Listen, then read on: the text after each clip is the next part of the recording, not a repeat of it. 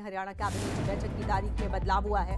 अब 27 नवंबर को कैबिनेट की बैठक होगी। पहले 28 नवंबर को होनी थी ये बैठक। मुख्यमंत्री की अध्यक्षता में हरियाणा सचिवालय में ये बैठक होगी। विधानसभा के शीतकालीन सत्र की तारीख पर इस बैठक में मोहर लग सकती है। तो हरियाणा कैबिनेट की जो बैठक होने वाली थी, उसकी तारीख में बदलाव किया गया है। 27 नवंबर को ये बैठक बुलाई गई है।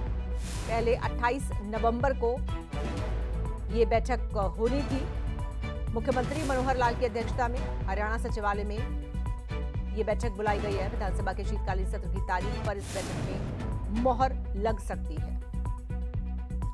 आइए सीधे रुक करेंगे अपने संवाददाता रवि चंदेल का। रवि क्या खबर है?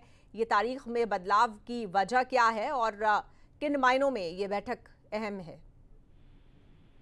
देखिए, मुख्यमंत्री मनोहर लाल की अध्यक्षता में हरियाणा मंत्रिमंडल की बैठक जो पहले 28 नवंबर को हरियाणा सचिवालय में सुबह 11 बजे होनी थी अब इस बैठक में बदलाव कर दिया गया है। वो बैठक अब 27 नवंबर को दोपहर बाद शाम चार बजे की जाएगी और इस बैठक में शीतकालीन सत्र की तारीखों पर जो है मोहर लग सकती है। साथ ही साथ जिस तरीके से यदि हम ज़िक्र करें एक विधेयक है उन पर उन, उन पर भी जो है वो मंत्रिमंडल की सहमति जो है वो बन सकती है। लेकिन अभी तक जो है उसके पीछे के कारणों का जो है वो आधिकारिक बयान जो है वो सामने नहीं आया कि आखिरकार किस वजह से जो है वो जो मंत्रिमंडल की बैठक जो पहले अट्ठाईस नवंबर को की जानी थी उसे सत्ताईस नवंबर में जो है वो परिवर्तित किया गया है। कब से हो सकता है शीतकालीन सत्र शुरू?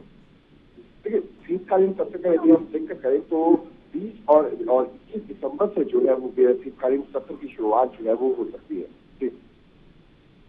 ठीक है और अ, क्या माना जाए रवि जो शीतकालीन सत्र है जो पिछला सत्र था वो काफ़ी छोटा था तो इस बार का सत्र जो है उसका उसकी अवधि क्या हो सकती है? उसका उसकी ड्यूरेशन क्या हो सकती है?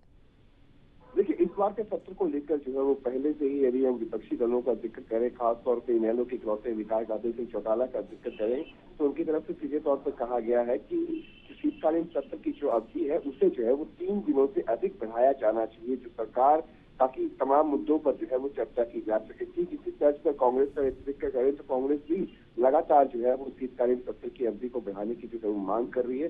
देखना दिलचस्प रहेगा कि मंत्रिमंडल की बैठक के अंदर जो है वो जो शीतकालीन सत्र की जब तारीखें तय होगी, तारीखों तय होने के बाद जब बिज़नेस एडवाइजरी कमेटी की बैठक होगी, उस बैठक के अंदर जो है वो अंतिम फैसला लिया जाएगा कि इसकी अवधि जो है वो कितनी रहती है। तो उस वक्त जो है देखना दिलचस्प रहेगा कि क्या इसकी अवधि जो है वो शीतकालीन सत्र की अवधि तीन दिनों से बढ़ाई जाएगी या फिर इसे तीन दिनों तक ही जो है वो रखा जाएगा। ठीक है, धन्यवाद आपका रवि इस जानकारी के लिए।